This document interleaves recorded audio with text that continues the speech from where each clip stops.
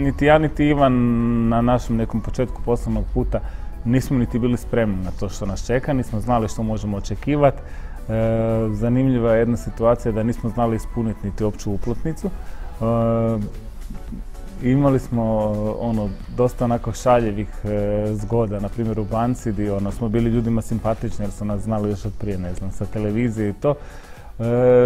Gdje su nam pomagali kako ispuniti opću uplatnicu, kako opće nešto ovaj, napraviti, do trenutka gdje mi znamo puno više od toga. Najveći problem nam je bilo financiranje. U biti smo sav novac koji smo zarađivali vrtili u krug kako bi povećali nekakav kapital kojim baratamo.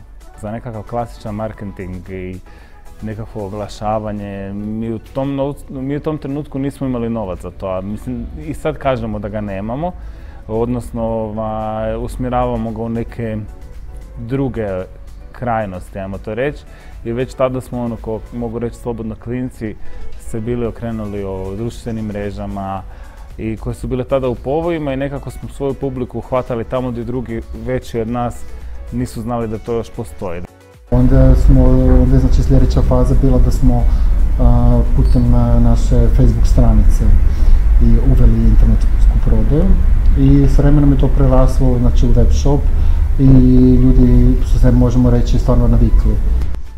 Kad smo krenuli sa pokućstvom i tim asortimanom, to je bilo vrijeme dok smo se mi nekako nanovo kućili i neke stvari su nam trebale privatno i onda smo ih ovaj, gledali po nekakvim razno raznim drugim dućanima ili platformama i ono što smo najlazili nam nije bilo baš to što bi htjeli i bilo nam jednostavnije pronaći proizvođača, pokušati pokrenuti nekakav novi proizvod. U našem segmentu poslovanja problem je na primjer naći radnu snagu za proizvodnju. Činjenica je da je nekad Hrvatska imala jaku tekstilnu industriju, mnoštvom postrojenja, a kasnije se masu tih prostorjenja i tvornica zatvorilo i ta radna snaga i općenito znanje ljudi koji su radili u, u tom